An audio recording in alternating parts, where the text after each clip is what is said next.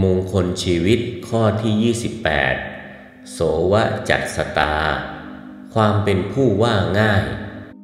กรุณากดติดตาม เพื่อจะได้ไม่พลาดเนื้อหาใหม่ๆของเราด้วยนะครับ ขอบคุณมากครับ ความว่าง่ายได้แก่ ความยินดี เคารพรับโอวาทโดยชื่นตาชื่นใจ ไม่เป็นคนกระด้าง ดื้อดันขันแข็งด้วยอำนาจทิฏฐิมานะ ความว่าง่ายนั้นเป็นคุณธรรมที่สมควรแก่คนทุกชั้น ทั้งผู้ใหญ่ ผู้เสมอกันและผู้น้อย พึงถือปฏิบัติให้เหมาะสมแก่ฐานะของตน สมเด็จพระผู้มีพระภาคเจ้าตรัสว่า เป็นธรรมอันที่ทำที่พึ่ง เพราะผู้ว่าง่ายอาจจะยึดหาที่พึ่งได้โดยสะดวก อันบุคคลผู้เป็นที่รักเมตตาปราณีแห่งผู้ใหญ่ ก็ด้วยอาศัยคุณสมบัติมีในตน มีความว่าง่ายเป็นเบื้องต้นประการหนึ่งก่อน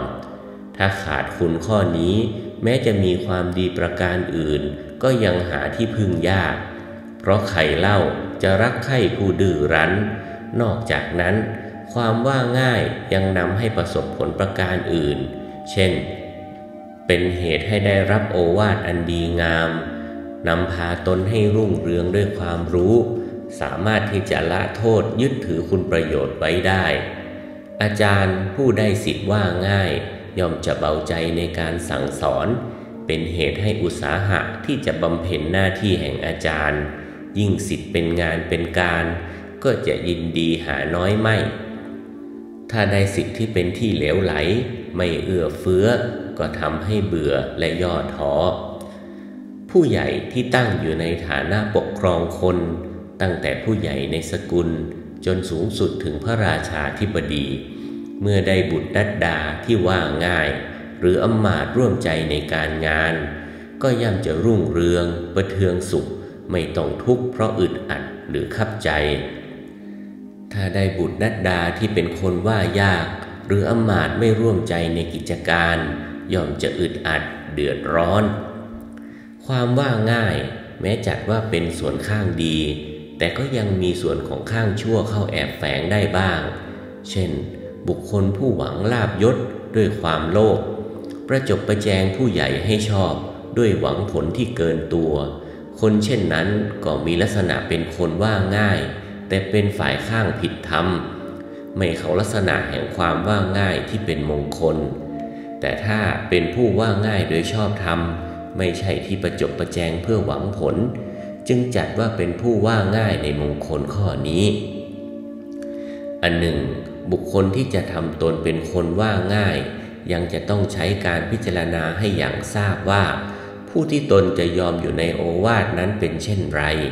ไม่ควรยอมมอบตนง่าย ๆ เพราะถ้าอยู่ใต้โอวาทอันผิดธรรม ก็จะนำให้เสียผล แต่ถ้าเห็นโอวาทเป็นธรรมแล้ว แม้ว่าผู้ให้โอวาทจะมีฐานะต่ำกว่าตน ก็ไม่ควรมีทิฏฐิมานะโดยสถานใด พึงเห็นผู้ให้โอวาทเป็นประดุดผู้ชี้บอกขุมทรัพย์ เขารบรับโอวาทนั้น โดยชื่นตาชื่นใจ ก็จะเป็นไปเพื่อสวัสดิมงคล ผู้ประพฤติตนเป็นคนว่าง่าย ย่อมเป็นผู้เจริญด้วยคุณงามความดี เป็นที่เอ็นดูและกรุณาปราณีของผู้ใหญ่ เป็นที่น่าเคารพบบูชาของผู้น้อย เป็นที่นับถือรักใคร่ของเพื่อนฝูง เป็นที่เมตตาแก่ผู้ที่เกี่ยวข้องด้วย ด้วยเหตุดังกล่าวแล้ว คนว่าง่ายจึงเป็นผู้เจริญด้วยเกียรติศักดิ์ เจริญด้วยลาภ เจริญด้วยยศ เป็นเหตุพัฒนาชีวิตให้เจริญก้าวหน้า พระพุทธองค์ทรงตรัสว่า ความเป็นคนว่าง่าย เป็นมงคลชีวิตที่ดีประการหนึ่ง